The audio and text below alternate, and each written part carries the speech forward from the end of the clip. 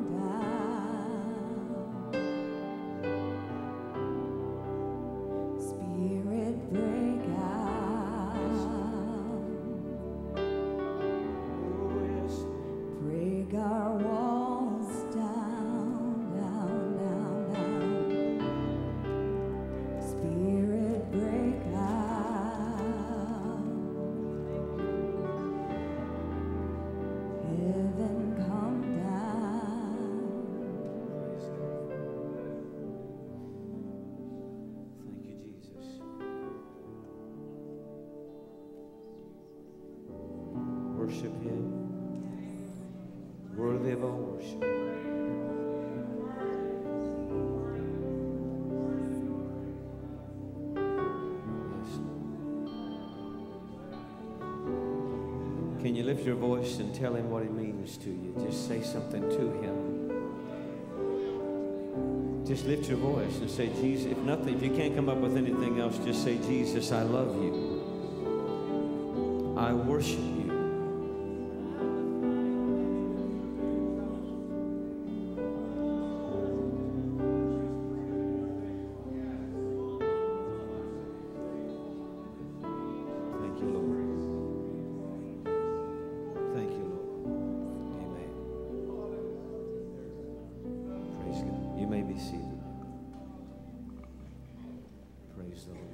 Jesus today? Are you glad to be in the house of the Lord? Good, good. Go ahead, Jordan.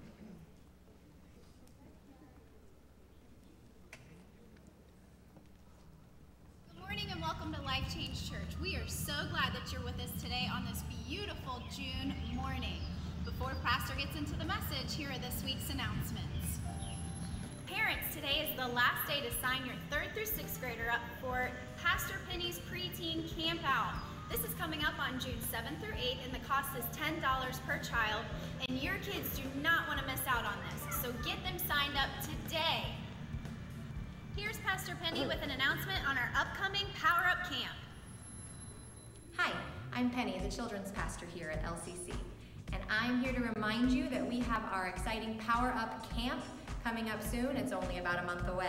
It's for kids entering kindergarten through sixth grade, and it's on June 23rd through the 26th. Please go online now and sign them up so they can be a part of this adventure. But also remember that my goal is for this to be an outreach to the community. We've already had about six families that signed up online and they noted that they don't regularly attend Life Change Church. We think they probably saw the banner in the field. So that's really exciting. But I want even more. So if you have a place where you could display a flyer, or if you want to just grab a stack and then maybe pop them under some windshield wipers as you walk into Kroger's for your groceries, that would be awesome. We just want to get the word out. If that's you, there's a whole stack of them at the information desk. Grab a handful and help us out so we can get as many kids in here and their families to hear about God's love as we can. Again, that's June 23rd to the 26th. Sign up now and help me get the word out. Ladies, I have to let you know that our regular June meeting has been canceled. Instead, though, we are going to go to Life Change Church of Pike County and support them on their first women's meeting. This is going to be on Tuesday, June 18th at 7 o'clock. But there's good news because we are going to take a van there if you need a ride. Please be here at church by 5 o'clock um, so that we can make it up to Pike County by 7. If you need more information though on this, or maybe you can't make it here to ride in the van, you can check out our Women of Life Change Facebook page and it will have the church address, um, the date again, and the time. If you don't have Facebook, there's good news because you can just find Pastor Jenny and she'll have all the information for you. Church, mark your calendars because June 23rd we are going to have Friends and Family Day. Now, this is a perfect opportunity for you to invite all of your neighbors and all of your friends and all of your family that you have been just itching to invite to church. So please, mark your calendars, June 23rd. Thank you so much for joining us here today at Life Change Church, and please stay connected with us online at lcchurch.tv, on our Facebook page, or download our app on your smartphone or mobile device. Ushers, I want you to get ready to receive the offering, and um, Vince, we'll, we'll get to the, the communion here in a little bit. This is our morning tithe and offering, and I trust that you'll be faithful in your giving this morning. Father, I pray that you'll bless this offering, multiply it, and use it for your glory's sake. In Jesus' name, amen. Is this road you're traveling?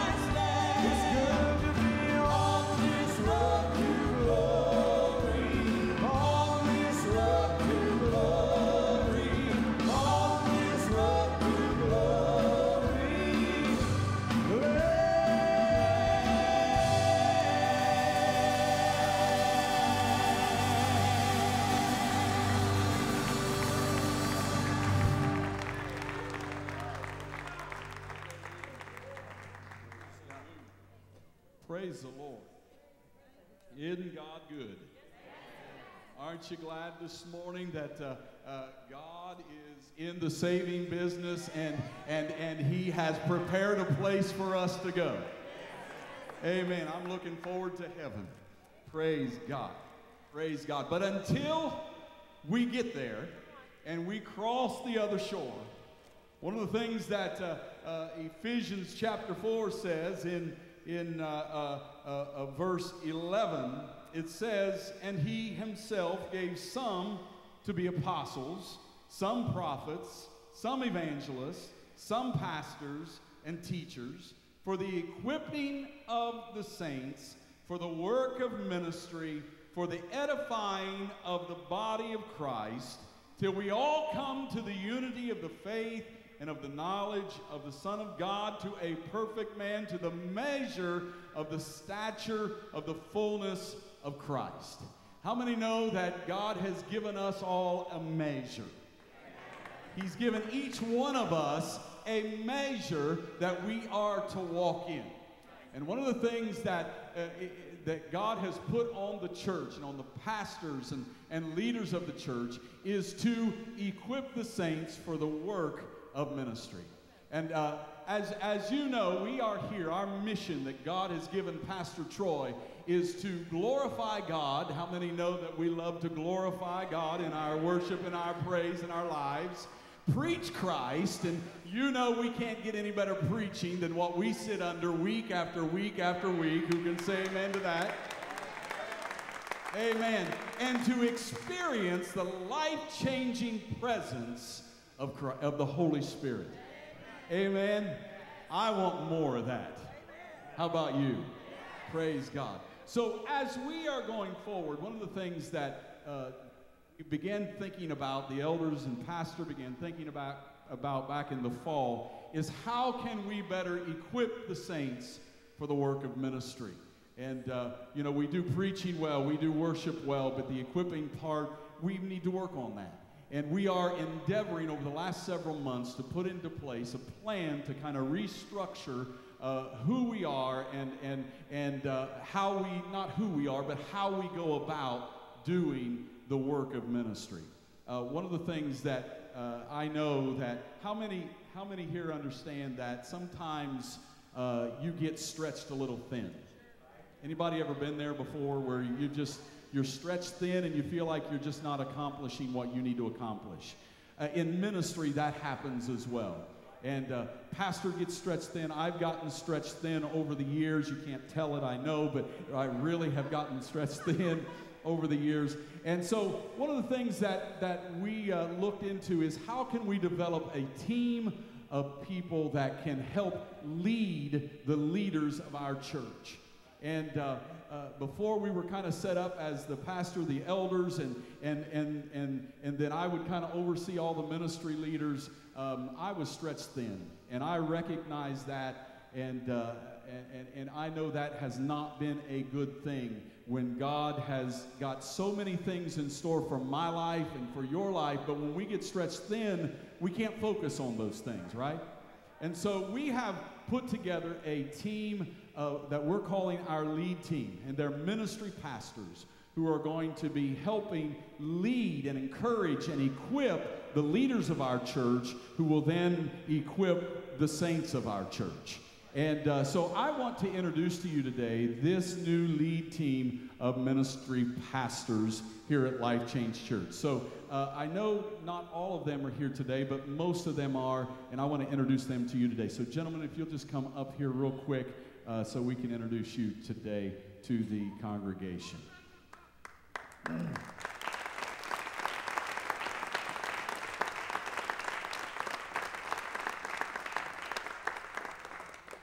All right, this, uh, these, these, there's six, there's six of them, and only uh, four are here today. Uh, but uh, I knew that, uh, I'm not sure where Jacob is, but I knew that uh, Jeff was going to be on vacation. I put Jeff on the screens real quick just so you know who Jeff Schmidt is, because Jeff might be looking for you here someday soon, so you, you need to know who Jeff is. And I don't have Jacob's picture because I didn't know Jacob wasn't going to be here. So uh, I'll have to introduce you to him a little later. But I wanted to introduce you real quick.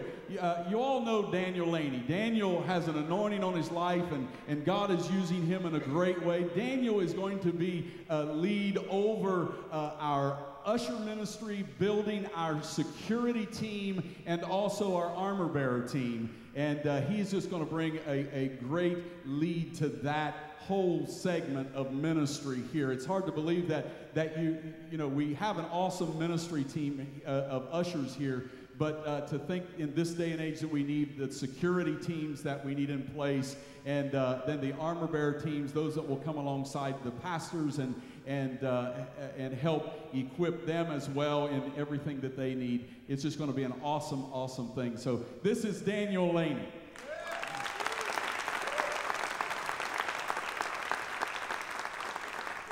A lot of you know Darren Large. Darren is going to be overseeing uh, uh, several ministries within the church as well. Darren just brings a lot to the table. He is a great leader, uh, and, and I'm excited to have Darren a part of this ministry team. Darren Large.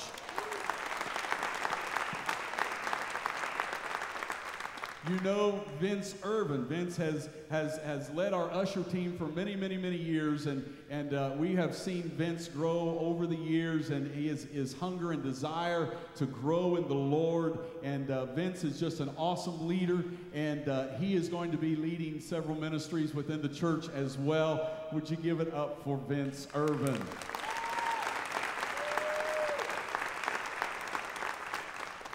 The guy, before I get to you, Brad, the, the guy that we showed on the screen, I'm gonna, I'm gonna save you here just a second. This is Jeff Schmidt. Uh, Jeff's been coming to the church, he and his wife Lisa, for about a year now.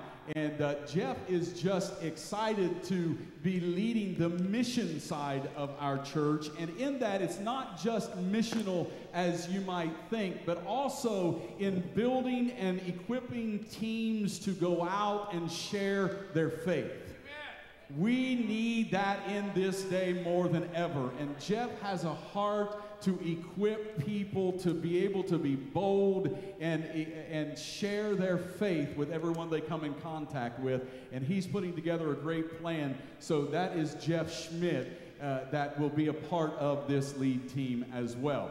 And then uh, Jacob Kingsley.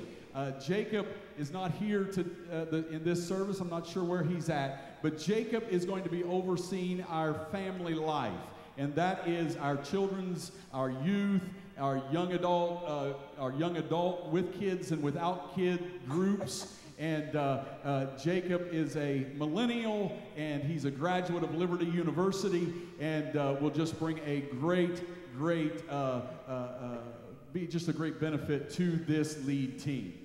And then, uh, last but not least, uh, Brad Wells, as you all know, is going to be heading up our pastoral care branch. So if you are sick in the hospital, uh, he or one from his team may be coming to visit you or, or just to do counseling in different areas of ministry within the church. Brad will be leading that part. So this is Brad Wells, and we welcome him to this team. Pastor, I want you to come and, and uh, let's just pray over these men and bless them indeed.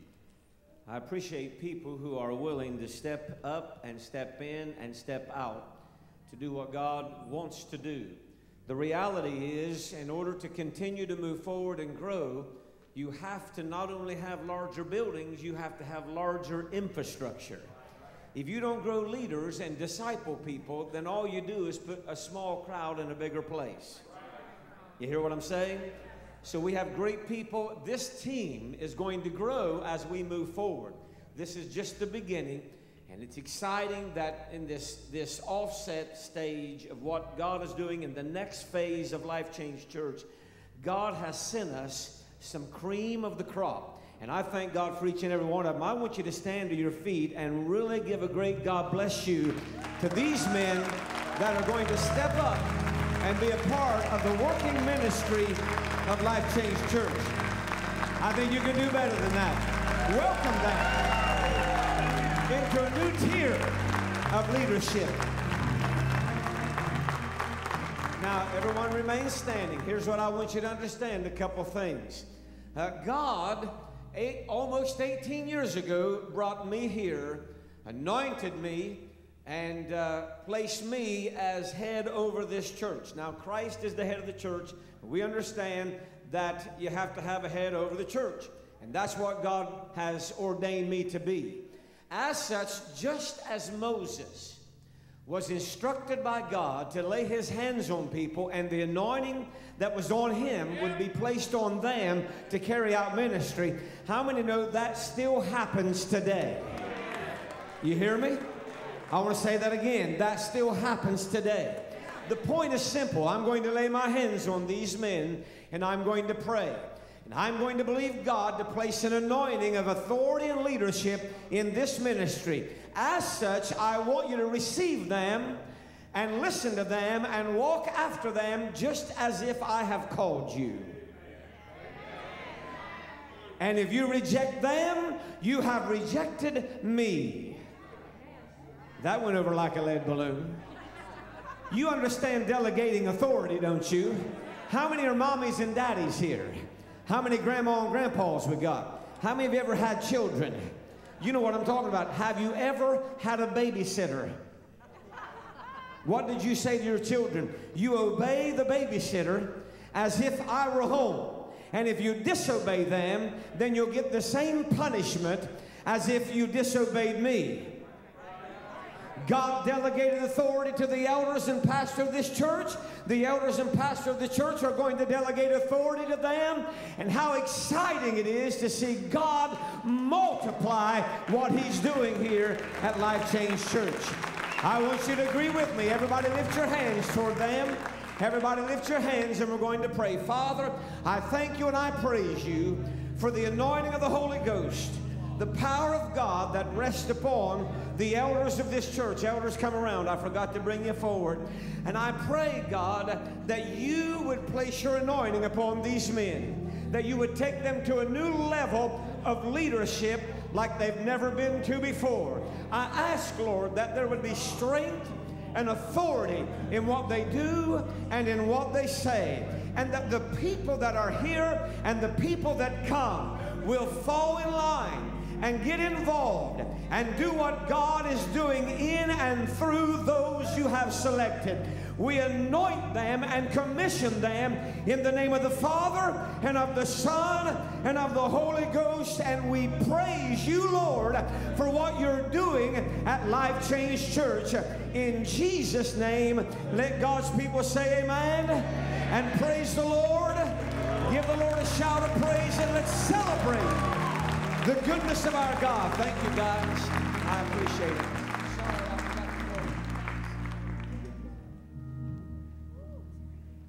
We're going to get to communion in a little bit. Right now, I want to read a scripture and take a moment to expound upon it. this service is a little different this morning, and it is, it is orchestrated of God. And I've wrestled all week with the Lord on what He wants me to do in this service. And I felt so directed of the Lord to read out of second out of 1 Kings chapter 18. 1 Kings chapter 18. And I'm going to I'm going to begin reading at verse 30. And Elijah said unto all the people, Come near unto me. And all the people came near unto him. And he repaired the altar of the Lord that was broken down. and Elijah took twelve stones, according to the number of the tribes of the sons of Jacob, unto whom the word of the Lord came, saying, Israel shall be thy name. And with the stones he built an altar in the name of the Lord. And he made a trench about the altar as great as would contain two measure of seed. How many know, and I'm not going to preach this, but how many know we're living in a day where we need to once again build an altar? The church has built a lot of things, but it's time to get back to building the altar. And he put the wood in order and cut the bullock in pieces and laid him on the wood and said, Fill four barrels of water and pour it on the burnt sacrifice and on the wood. And he said, Do it the second time. And they did it the second time. And he said, Do it the third time. And they did it the third time. And the water ran about, ran round about the altar, and filled the trench also with water. And it came to pass at the time of the offering of the evening sacrifice that Elijah the prophet came near and said, Lord God of Abraham, Isaac, and of Israel, let it be known this day that thou art God in Israel.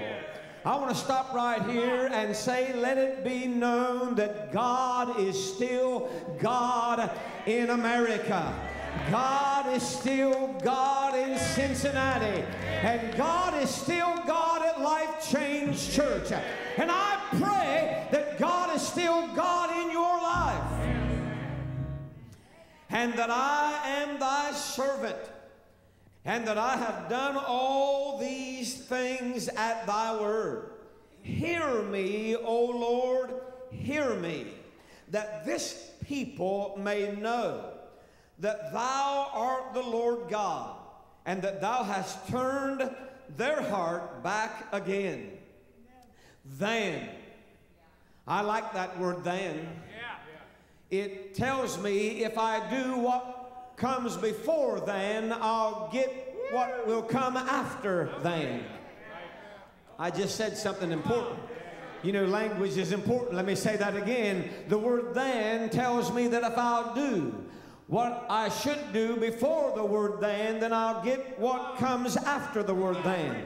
And what comes after the word then is something that the church needs in dire strait today. He said, Then the fire of the Lord fell and consumed the burnt sacrifice and the wood and the stones and the dust and licked up the water that was in the trench. And when all the people saw it, they fell on their faces and said, The Lord, He is the God. The Lord, He is the God. Fire fell upon the sacrifice. Now, there's a lot of preaching that needs to be done there that I don't have time to preach. And I'm not even sure I'm really going to preach.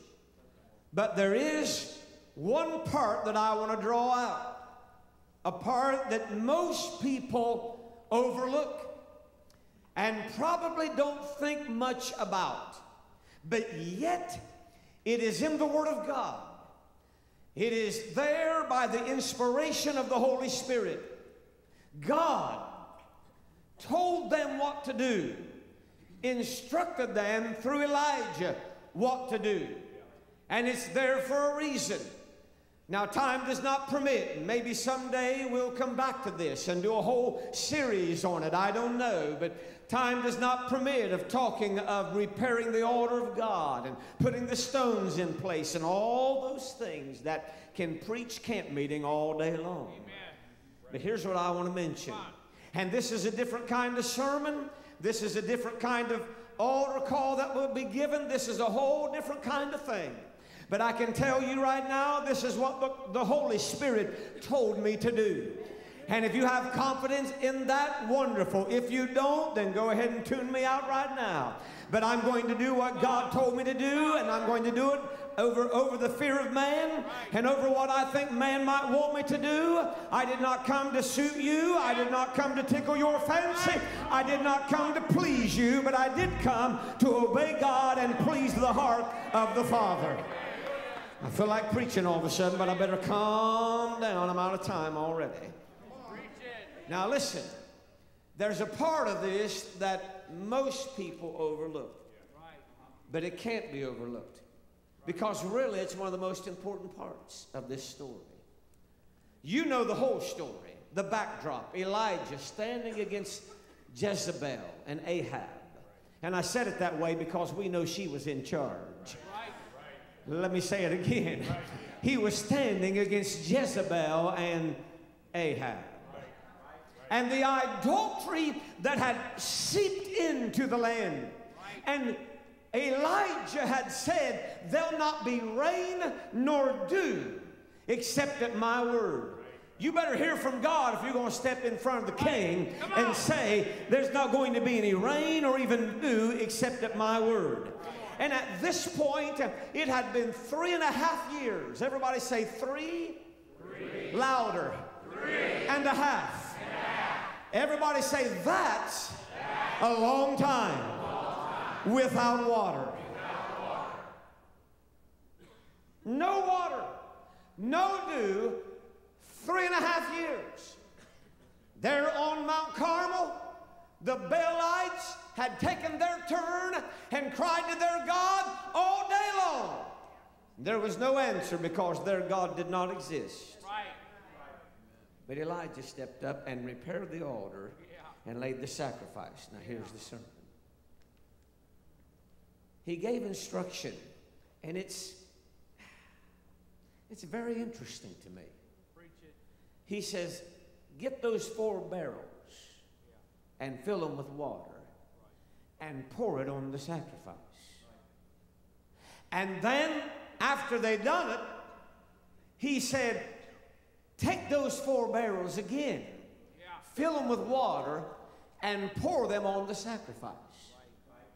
And after they had done it, he said the third time, Take the four barrels, fill them with water, and pour them on the sacrifice. Twelve barrels of water. Twelve stones. Significant. The number twelve. It's the number of government. I think it's interesting what we're doing today by trying to establish more and more government in the church. You realize that, that you can't have peace and you can't have harmony without government. You don't like to have police officers, but you would not like to have police officers if you went out there and we didn't have any. Because there'd be idiots like some of you driving way too fast. and especially like me. Then you'd have people who wreck all the time. Not going to mention any names, but her initials are Mandy Ervin. I mean, I won't ride anywhere with her. I could be having a heart attack and I would still drive myself to the hospital. I got a better chance.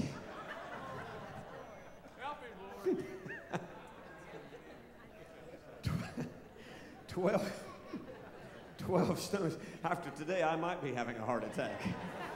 12 stones, 12 barrels of water. Pour them.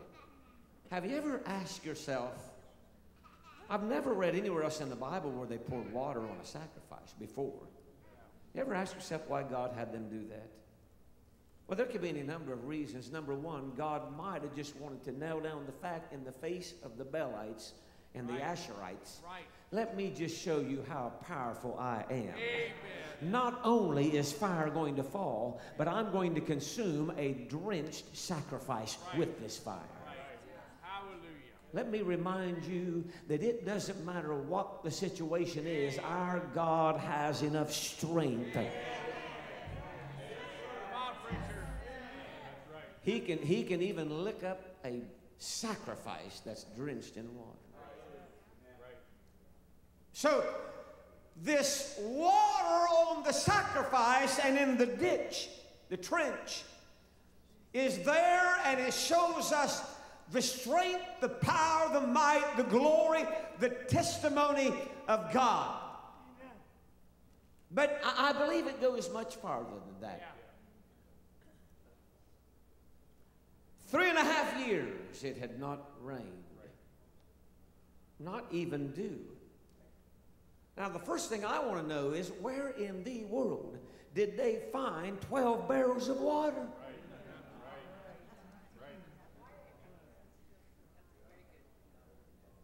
Three and a half years, nothing. And he says, 12 barrels of water, put it on the sacrifice. Now, I have to ask you this morning if there were a drought of three and a half years, what do you think the most precious commodity there is? Water. Water. Listen, there are people in this day, right now, in this scripture, there are people dying of thirst and hunger because there's no crop coming up because of the lack of water, and people are dying of thirst because they run out of stuff to drink. Remember the little lady that the prophet had gone down and she said, I just got enough oil on, and enough meal to bake me a cake and my boy a cake. We're going to eat that and then we're going to drink. So obviously they had enough to eat and drink something, and then she said, We're going to die. Remember that?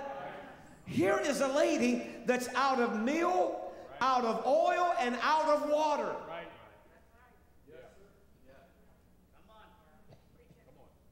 The most precious commodity that could possibly exist in a three and a half year drought is water.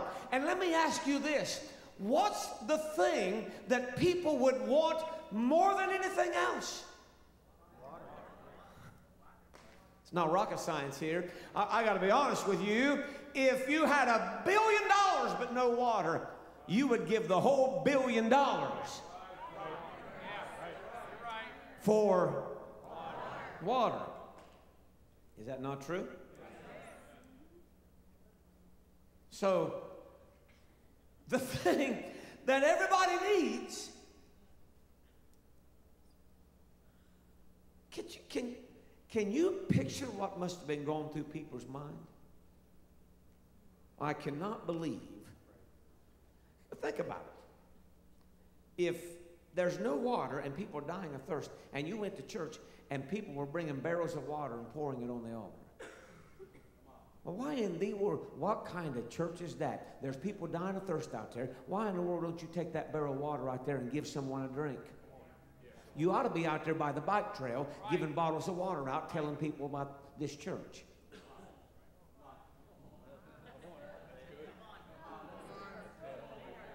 Let me tell you something.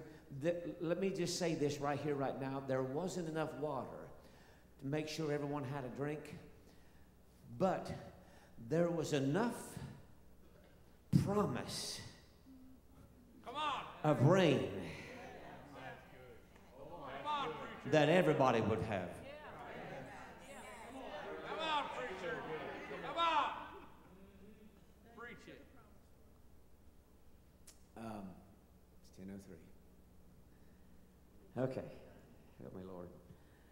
They pour 12 barrels of water on this sacrifice.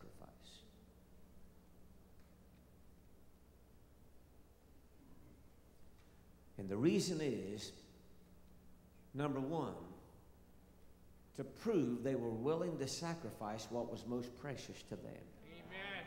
Preach it. Preach it. It got real quiet now.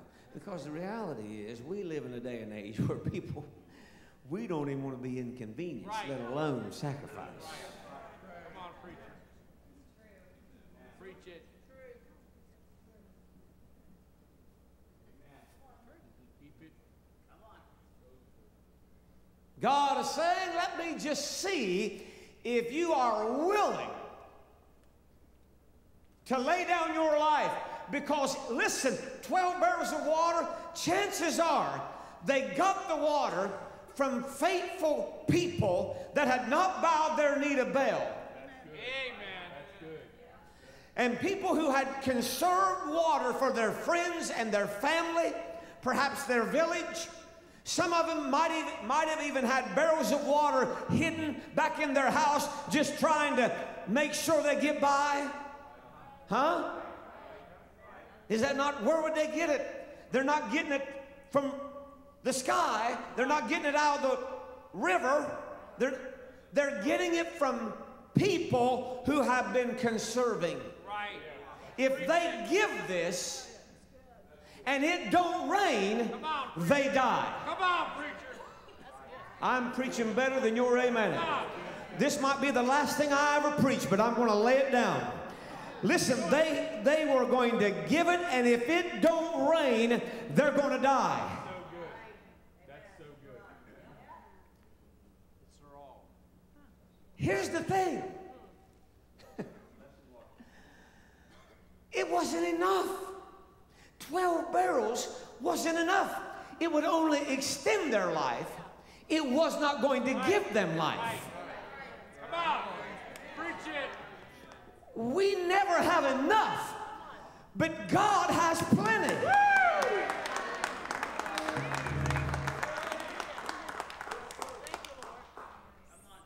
Are you willing to sacrifice the thing you need most? Water, it. The other thing, the reason why God told him to do it, was because he wanted them to demonstrate faith that they were going to trust him Right. that first of all, fire would fall and they would defeat Baal. And secondly, and more important than the fire, we preach about the fire, but more important than the fire was, when's the rain going to come back? Amen. Now I'm going to take about 10 minutes and preach. Preach it.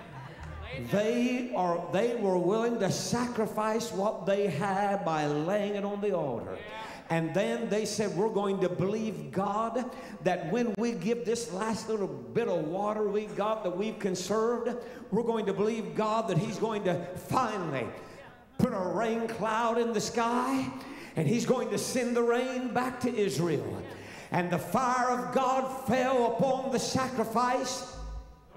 They drew the sword from the sheath, and the Bible says that 450 prophets of Baal died that day, and 400 prophets of Asherah died that day, and they defeated idolatry in the land. Listen to me, if we're ever going to have a revival in America, we've got to destroy idolatry in our lives, destroy idolatry in the church, destroy idolatry in America.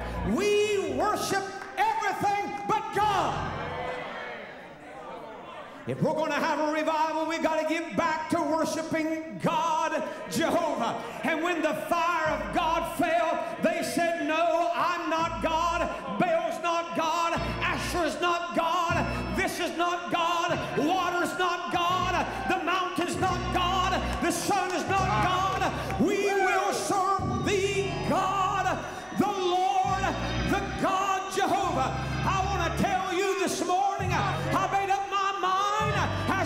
As for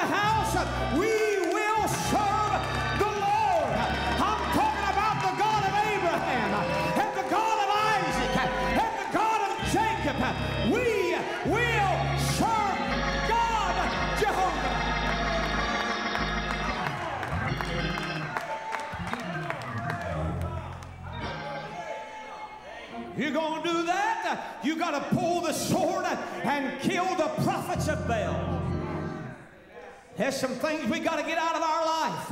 There's some things we got to get out of our home. There's some things we got to get out of our mind. Huh?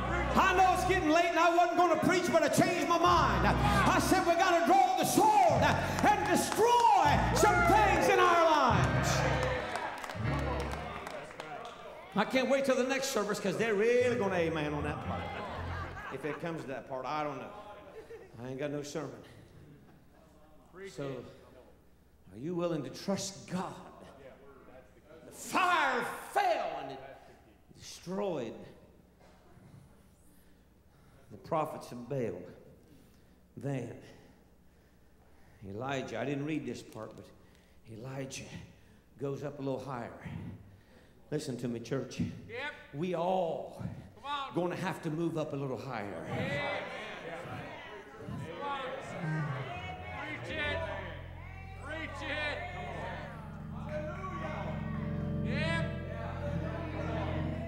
You are a boring crowd.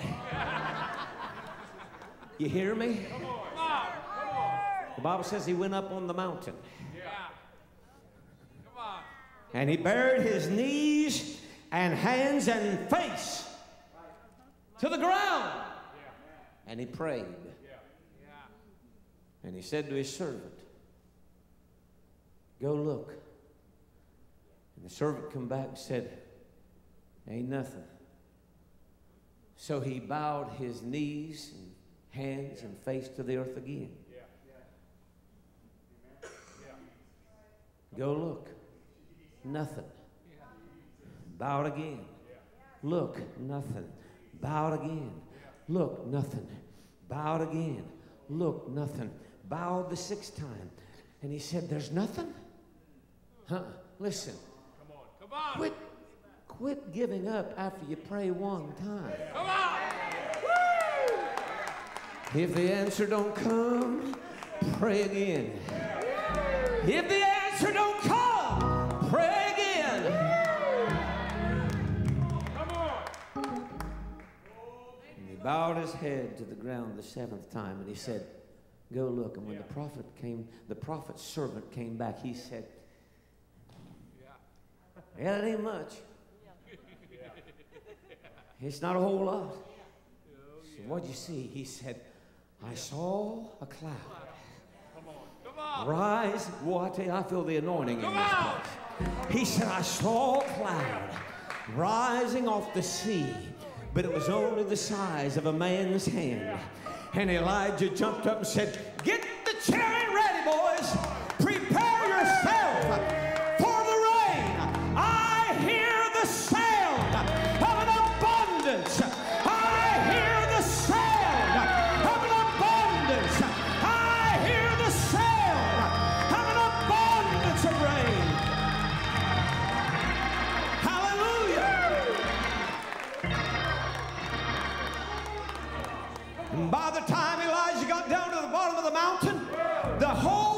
sky was black and the thunder roared, and the lightning flashed, and he picked up his skirt and he took off running. And the Bible says Elijah got so of God that he outran the horses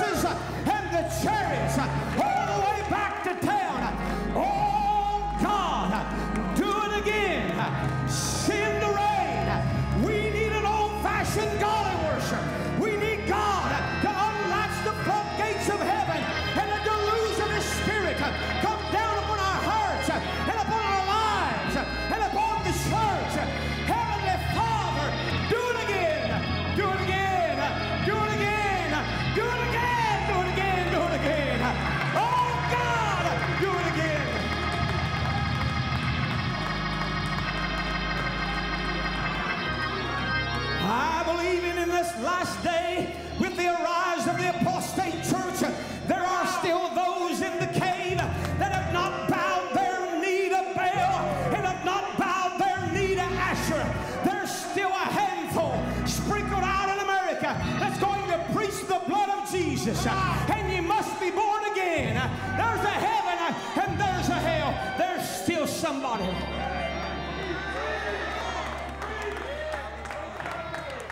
hear the sound of an abundance of rain. But listen to me. Listen to me.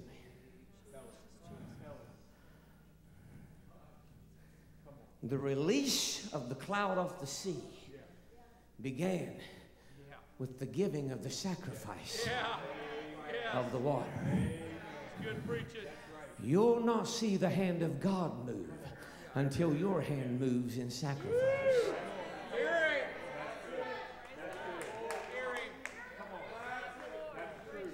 Him. Now, I'm going to attack you right where America lives. You're not going to like it, but I'm going to hit you right where they live. Hear me? What's the most precious commodity Americans have? Money. Got real quiet. Got real quiet. Now listen, preacher, I'll shout about rain, I'll shout about revival, I'll shout about a lot of things, but don't talk about money. Come on. Yeah. Preach it. You know one of the reasons why we don't see revival in America? Is because over 90% of people that go to church every Sunday don't even tithe. Right. This last month, people that come probably to this church gave more money. I don't care what you give. That's between you and God. You're going to answer for what you give. I, don't- I want to tell you something else about Pastor Troy Ervin. I don't ever look. I, I don't know who gives what. I have no clue. I don't care. That's between you and God. If you do wrong, you're going to answer to God, not Troy Ervin. And you're not going to get a knock on the door from me, and I'm not going to call you and ask for your W 2s like some churches do. I'm not doing that. If you sin, then you're going to pay the price. I'm not after your money, but God's after your heart. You hear me? People give, give people give more money in a tip to a waitress in a month's time than what they give to the cause of Christ. Hmm? It's going over real good. We, we're going to get the communion here in a minute. Hmm? Until you are willing to sacrifice, you're just drinking juice and eating wafers and going through the motions and playing church. That's all we're doing. That's the truth. I'm going to tell you the big, the two things that hold back revival in America in the, in the church. Two things. Number one, we have not taken a proper stand against abortion. Right. Amen.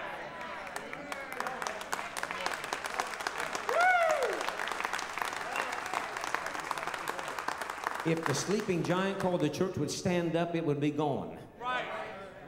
Hmm? We have not taken a stand. I'm going to tell you something. The blood of the innocents dripping off the, the, the hands of, of Americans. And it's hard for God to bless when we're killing what He created. You hear me? Hmm? I was watching one of those singing shows. I don't know which one it was. One Simon's on. That's the only one I like. Simon's my favorite. You know why? Because I am Simon. If you can't sing, I'm going to tell you, you're, you're terrible. You can't sing. Get another job. Do something. You cannot sing. I love Simon, don't you? American Idol is just a sham these days. They, they say nothing but nice stuff, and I haven't seen anyone got kicked off by the judges yet.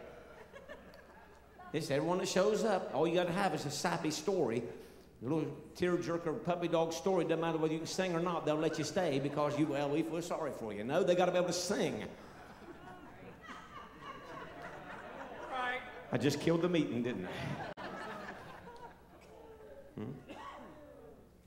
But I was listening to one of them, and little fella, blind and autistic. Y'all see that guy? He can sing. Children, he can play piano and sing. Hmm? Yeah. He sang that song better than Hathaway. I mean, I'll tell you right now, that boy could sing. Did you see it? Look at that. How many saw it? Y'all acting like you're Christian. We don't watch that stuff. Brother, I saw it. It put chill bumps all over me. But you know what I thought? Most people would abort that boy because of his condition before we ever had a chance to see the glory that God was going to bring through him and his gift.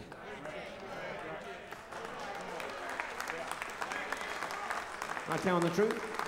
He's going to be blind and autistic. Don't want to put up with all that mess, so let's get rid of him. I'm preaching the truth right now. We would have missed him singing better than the guy that did it to begin with. Almost. Donnie does a great job on it. But he done a job now, that kid did. Uh, the church is not taking a stand against abortion, not the way we should. Secondly, and it's a massive deal, we have robbed God. Right. You're right. And we make, we make no sacrifice with our money. We don't put our water on the altar. That's the truth. We want God to send an abundance of rain and we want all His blessing, but we don't want any sacrifice on our part. And listen to me, you don't have to like it. You can go to another church that ain't going to tell you this, but I will tell you the truth. Until you and I are willing to sacrifice, there is no blessing.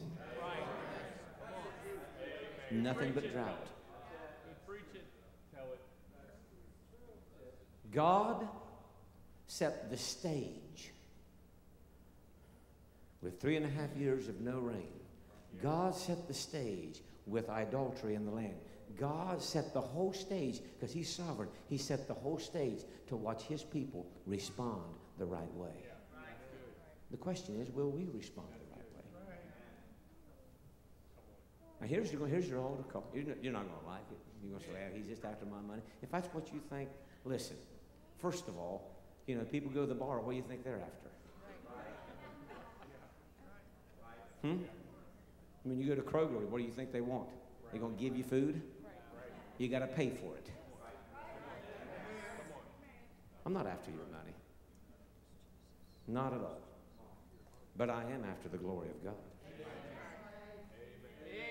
And it doesn't come only through sacrifice. So here's your altar call. Hope you love me still, but here's your altar call.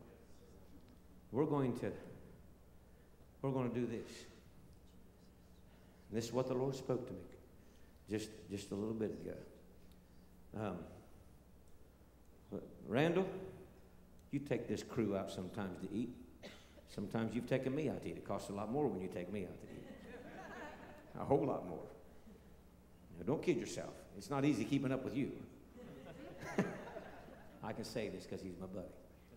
When you go out to eat, what do you think it cost?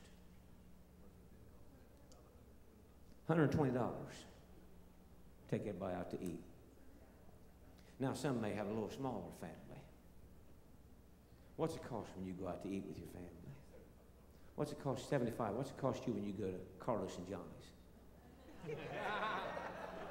what about when you take me? 200. you may leave now.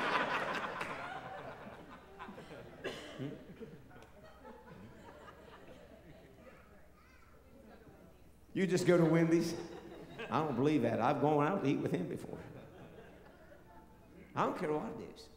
I don't care if all you do is go to McDonald's. I don't care where you go. You say, I go to McDonald's, it cost us $15. I don't care.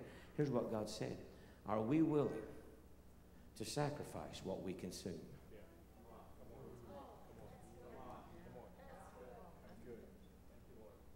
So I'm going to ask you this morning.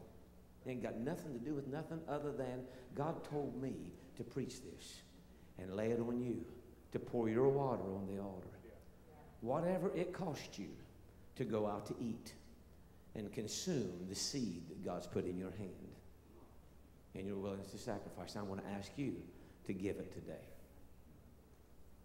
And instead of going out to eat this week or whenever, don't go out to eat. You say, I can't afford it. If you can afford to go out to eat, then don't go out to eat. Do one of two things. One, eat at home. Cook. You say, I don't know how to cook. Macaroni and cheese. Kraft. Butter, milk, powder, you got this thing. Even I can make macaroni and cheese. Two, that meal that you were going to pay 20, 30, 50, 100 dollars out to eat, whatever it is, why don't you just fast and pray? That God will move in America, that God will move in our church, and God will change Cincinnati. So I'm going to ask you to give it instead of consume it. Instead of hoard it to yourself, instead of hide that water back in the closet, say, you know what? We're going to pour it on the sacrifice. This is your altar call. And I would ask you to obey God and give it. And I promise you, if you will, He's going to bless. He's going to bless the church. He's going to bless you. You say, Preacher, you, you really think that, that this is a proper kind of altar call? I know it is. I know it is. I know it is. Years ago, I was in a camp meeting, and they gave an altar call like this. It was an old holiness camp meeting, Mount of Praise. I was a young preacher, and they said, We've got these missionaries that we need to send wherever, and they need, they need $500 to complete what they need to do to get on this mission field. $500. And the Lord spoke to me, and He said, Write a check for $500. And I'm going to tell you right now, I didn't have $500. You hear me? There wasn't that much money in the account back in those days. And the Lord said, Write the check. And I said, God, I don't have it. He said, You, you write the check and sacrifice and lay it on the altar. I'll make sure you get it, and I'll bless you for giving it. I said, All right, that's good enough for me. And I wrote the check. $500 and I gave it. And I said, Lord, that check there is $500. If it bounces, I could be looking at a lot of trouble. How many know that? 500 and above? Federal offense. You with me? I'm, I'm like, Lord, I might be the Apostle Paul. I might be in jail in a couple days. But I wrote the check. That night I was preaching at a camp meeting and uh, had a great service, great crowd. God moved. And they gave me a check for preaching that night. And I normally didn't make this much, but that night they gave me $350 check. Because I looked at it as soon as I got it. I ran to the bathroom. I was I'm hoping this has to be 500. But it was only 350. I'm like, Lord, that's not going to get it there. And I went to Frisch's and I was sitting there eating. And a lady came to me, never seen her before in my life, and I've never seen her since. She said she was at that camp meeting that night. She said, I want you to know the Lord blessed me while you were preaching, and He spoke to me, and He told me to give you this. And she shook my hand, and I put it in my pocket. When I got to the car, I turned the dome light on and pulled that out, and it was $150 cash. I had my 500. I said, Thank you, Jesus. I said, Thank you, Jesus. I said, Thank you, Jesus. Now, Mandy, how much do you think we eat out in a month? A lot. And Mamaw, how much do you think we eat out in a month? You've already written it for 200. How much do you think we eat out in a month? A few hundred dollars, maybe? Three or four hundred bucks? What is it? Just tell me. Just throw out a number. I don't care. Huh? You don't know? Mean, do you not know anything? It's your account we use most of the time.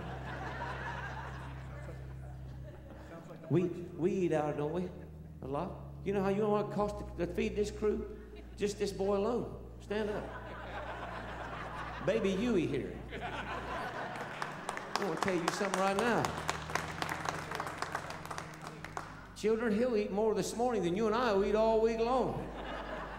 You can't afford to take him out to eat. We sneak and go out to eat and leave him at home. I'm just teasing. Poor Alex. Poor Alex. Nah, how much you reckon we do? Three or four hundred bucks? You got a check? All right, you write the check. And we're going to pour it on there. So here's your altar call. Now, after we do this, it's 1027. I don't care. I'm going to mind God. I'm going to take my liberty, and we'll get to the next service when we get there. But uh, after you give, we're going to receive communion to solidify in worship. To solidify in worship what Christ did when he gave all of heaven's best. For God so loved the world, he poured heaven's water on the sacrifice. He gave the best, didn't he? And that's why we're here. So that's your altar call. I want you to bring it. We don't have any ushers up here with bags or anything, but I just want you to bring it. If you don't feel like the Lord told you to do it, then you, you mind God. I'm not there's I'm not going to think anything less of anybody. There's no pressure. There's no presumption. We're just going to mind God because God told me to do this today. I wish He hadn't. I'd much rather just make you shout, and let you go home. But this is what God told me to do. So I'm going to start. Mandy, you come. Mamaw, you come. You got them both? All right. Children, come on. Come on, children. All the children, come on. You too, Carolina. Everybody there, you're there sometimes too. I got to pay for your. Uh, you too. you come. And whoever wants to join my family in pouring this on, you can join us. And then we're going to receive communion and go home.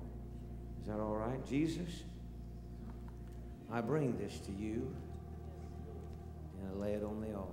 I pour it, this water, me and my family, and anybody else that wants to. There's no pressure, there's no presumption. I don't think bad of anybody if they don't, Lord. I want them to know that. I'm not I'm not looking. I don't care what they give. I just want us to pour our water on the sacrifice. So Lord, we pour it before you right now. This is what you told me to do, and I've minded you. I pray, God, that there would be a sound of an abundance of rain. That God, we would pour these barrels, the most precious commodity that we have in America is, is our money. So we, we give it to you, whether it's $20 or $200, whatever it is, for this week or for the month or whatever we want to do. I pray, God, that we'll all obey you this day. And we give it to you in obedience and in sacrifice. Lord, this is your word. This is your word. And there's great blessing attached to it. Thank you, Jesus, for what you've done. Thank you, Jesus. Ushers, I want you to prepare yourselves to serve the, the elements, please. Everybody's standing. And we're going to, we're going to take of the Lord's broken body and spilled blood before we leave today, before we've obeyed him today. Thank you, Lord. Thank you, Jesus. I'll live for him who died for me. How happy then my life shall be. I'll live for him who died for me, my Savior and my God. I'll live for him who died for me. How happy then my life shall be. I'll live for him who died for me, my Savior and my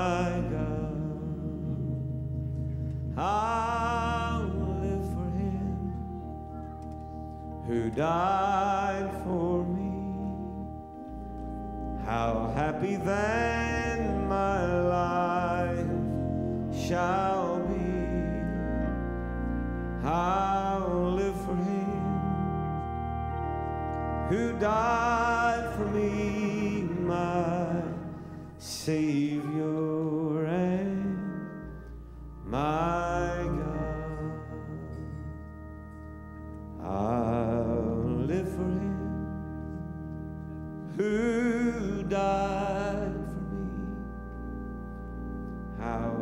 happy then my life shall be.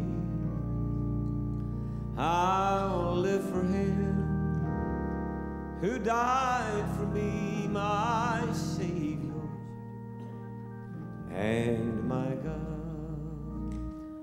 Father, as we serve this to your people, I pray that we'll recognize and understand the great sacrifice that you made on the cross 2,000 years ago. Lord, may we each be reminded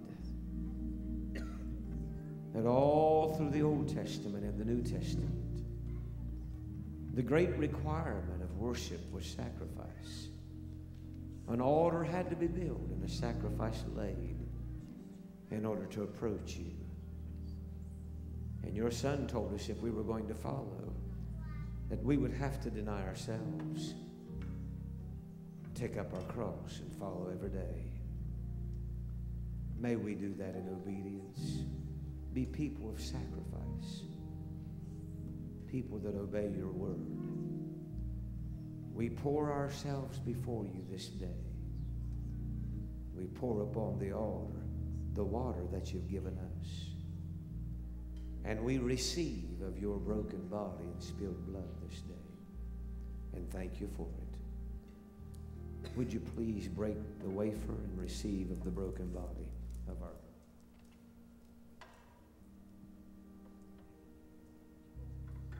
Thank you, Jesus. Thank you, Jesus. Thank you, Jesus. Would you please receive of the spilled blood of our Lord? Drink of the cup.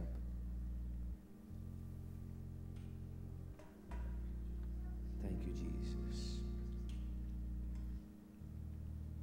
I'll live for him who died for me. How happy then my life shall be. I'll live for him who died for me, my Savior and my God. May the peace of God go with you this day and this week. May the blessing of God overshadow you, overtake you. Follow him in sacrifice and love Him in truth. Bless your people as we leave this place today, Jesus. In your holy name we pray. Amen. God bless you. You're dismissed. I'll live for Him who died for me. How happy then my life shall be. I'll live for him who died for me, my Savior and my God. I'll live for him who died